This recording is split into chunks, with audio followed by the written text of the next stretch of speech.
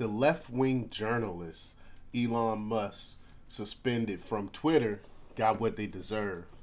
And um, I don't know why they think they can like dox people and put people in harm's way and think it's okay. But then you got some left wing journalists that end up getting doxxed and then they complaining about it. So you can't have it both ways. They're so hypocritical. Um, but before we get started, go ahead and hit that like button, share this out so we can get this information out there. Subscribe if you're not already a subscriber, and hit that alarm bell so you know when I'm putting out new stuff. Also, check out my link tree in the description. It has a link to my Patreon where I talk about things um, that I can't talk about here, and there's also a link to my Instagram where I put out even more news. Um, and also check out my um, my shop. The link for that is also in um, in the link tree where I have um, I will not comply t-shirts. So check that out as well. All right, let's talk about this news. Elon Musk on Thursday evening temporarily suspended the Twitter accounts of a handful of high profile journalists who shared real time location data about him. Good, I think. You know what I'm saying?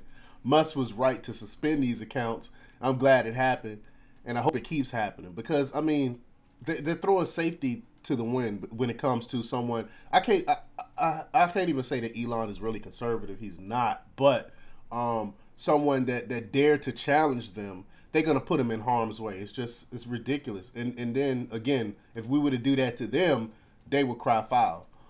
Um, and um, I have no illusion that Musk is, is some savior for conservatives, like I was uh, uh alluding to, or that under his watch, Twitter will become a haven for free speech. But I do think it's about time that leftist corporate media got a taste of their own medicine. In part, so their hypocrisy, uh, uh, um, and and craving power grubbing can be exposed to a, a, a watching world. And boy, are they obliging. On Friday morning, nearly every corporate media outlet led with breathless stories. Uh, unprecedented Axios called it, lamenting that um, Musk was attacking, quote, journalists who have criticized him and pretending that what they were engaged in didn't count as doxing, as if this is about uh, a freedom of the press and, and not ensuring the safety of Musk's family or anyone else who might be targeted in real life by radical left wing ideolo- ideologues. We know they've done this before. They dox they dox people before. Um, and, and so, what's the point of doxing if it's not? You know, what exactly is the point of doxing if if if you don't have anything nefarious um, planned for that? Um, and, and, make no mistake, that's exactly what these suspended journalists are are are. Their uh, ranks include former Vox journalist Aaron Rupar, CNN reporter Donie O'Sullivan, New York Times reporter Ryan Mac, Washington Post reporter Drew Harwell, The Intercept's uh, uh, Micah Lee, and the absolutely ridiculous clown Keith Olbermann. I can't stand Keith Olbermann. Um, but being part being a member of the corporate media doesn't give you a, a, a, special privilege to target people, and that's exactly what it is. They're targeted. As Musk said to a group of journalists in a Twitter space chat, he crashed on Thursday night. You're not special because you're journalists. He um um there can be only one reason to promote or retweet real-time location information about a person or their family you hope something bad happens to them. I mean, what other reason could there be? You hope someone acts on it. In this case, these reporters were amplifying a Twitter account that was posting location data about Musk's private jet. And doing so on the heels of a, a disturbing incident in Los Angeles involving a stalker targeting a car that was carrying toddler son. I mean, that, that's enough to make someone want to whoop someone butt. You know what I'm saying? You don't put someone child in, in harm's way like that. It's ridiculous. In other words, the media elite. Rise and oops, excuse me. Um, in other words, my, my alarm was going off. In other words, the uh, media elite, who for years absurdly claimed that speech is violence, actually engaged in the promotion of violence and got caught doing it. And we're supposed to feel we're supposed to feel bad for them. I don't think so. Media leftists who for years had demanded online censorship of conservatives don't care at all about free speech and in fact actively work to quash it however they can are suddenly alarmed at Musk silencing their own. I mean, think about how quiet they were. Um, on, on, I'm gonna call it the old Twitter when when um, conservatives was getting booted from the platform. Um, it, it, all started off with Alex Jones.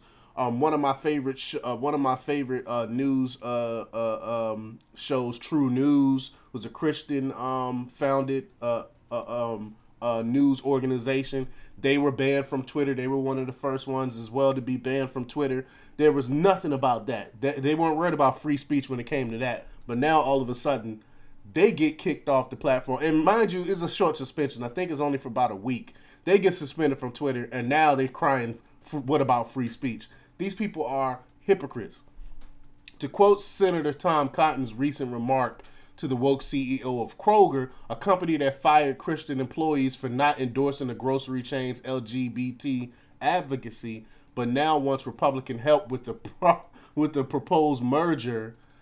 And I did a whole I did a whole uh, uh, video on that. But he said, uh, "quote I'm sorry that's happening to you. Best of luck."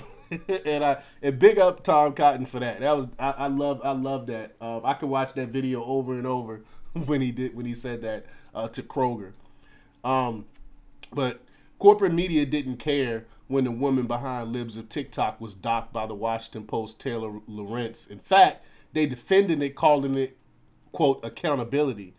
They didn't care when uh, pre-Musk Twitter shadow banned prominent conservative accounts like the Federalists uh, CEO Sean Davis or locked accounts um, of, of other people's uh, uh, for pushing pushing back against trans ideology.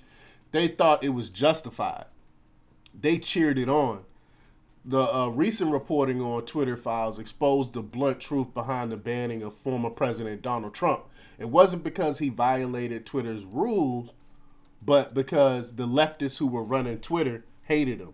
I mean, the, the stuff they were doing is, is so anti uh, free speech is ridiculous. And then when they get suspended for docs, for being uh, uh, uh, for, for for doxing people.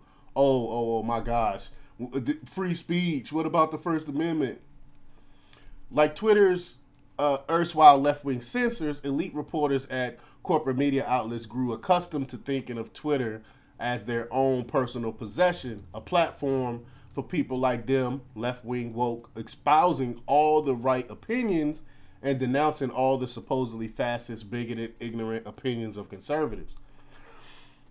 Twitter was a tool that enhanced their power and influence, nothing more.